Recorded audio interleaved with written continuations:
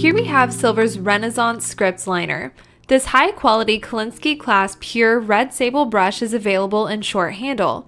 The Renaissance series is an excellent choice for watercolor or oil painters. It is favored among modern masters for portraiture, landscapes, still life, and botanicals. It has been used to paint the official portrait of world leaders, religious figures, titans of business, public figures, and more. This brush is a go-to for fine detail, so I utilize the precise point and expressive mark making for stray hairs on a portrait. I could make such tiny marks with ease.